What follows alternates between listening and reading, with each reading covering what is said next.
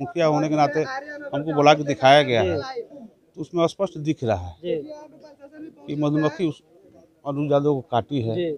उसको कंबल दिया गया है बचाया जा रहा है। क्या हुआ है? और आज पूरे मतलब आर्या नगर के जितने भी जनता है गाँव छोड़ करके यहाँ से भाग चुके हैं। क्या है इसके पीछे क्या बात है? थोड़ा बताइए। देखिए सबसे बड़ी बात तो जो भी हुआ है बहुत गलत हुआ है। इसकी कड़ी निंदा होनी चाहिए। काला दिन रहा हमारे पंचायत के लिए।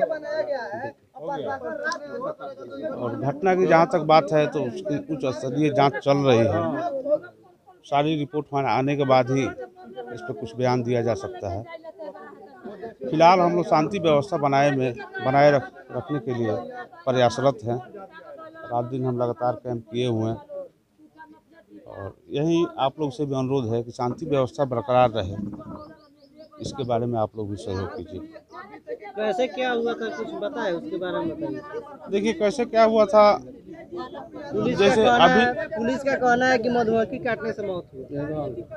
अभी तो फ़िलहाल जो सीसीटीवी फुटेज आया है देखने से तो यही लगता है। मैंने हम लोग भी देखे हमको भी बुला के दिखाया। मुखिया होने के नाते हमको बुला के दिखाया गया है। तो उसमें स्पष्ट दिख रहा है जी। कि मधुमक्खी उस अनुज यादव को काटी है उसको कंबल दिया गया है बचाया जा रहा है। ये सारी चीज़ें दिख रही है। लेकिन वहाँ तो हम थे नहीं। थाना में उसको कहाँ रखा थाना में कहीं नहीं रखा गया था। हाजत से वो बाहर थे बाहर घूम रहे है। है है आप जाकर देखिए। है है आप जाकर देखिए। हाजत में नहीं है। बिल्डिंग में? वो खुद बाहर थे। तो और जिस करने चापाकल पर गए थे चला कि वहाँ पे मधुमक्खी चापाकल पे गए थे वो पानी पीने उस टाइम उनके ऊपर मतलब सीसीटीवी फुटेज में स्पष्ट दिख रहा है। हम देखा हुआ बात अभी मतलब थाना से ही आ रहे हैं हमको बुलाया गया था दिखाने के लिए। तो हम देखे हैं ये सब चीज़। इसके पहले तो हम कुछ नहीं बोल रहे थे लेकिन अभी हम देखे हैं तो जो चीज़ नज़र के सामने है बस उसी के बारे में हम बोले।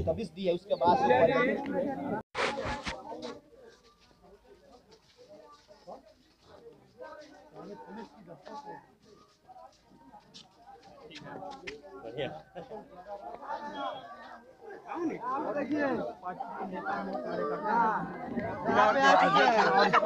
देखिए कैसे यहाँ पे पीड़ित परिवार परिवार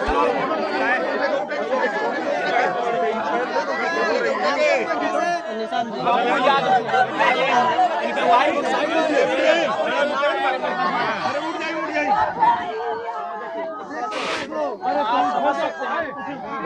बहुत ही बेकार जो हुई है यादव गरीबों की मसीहा समझ रहे है।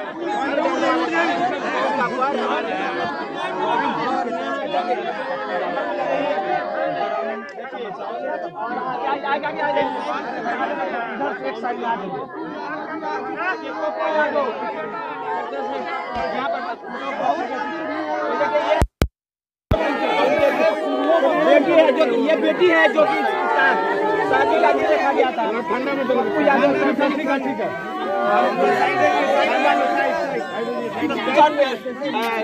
प्रशासन को न्याय मिलेगा ये देखिए न्याय मिलेगा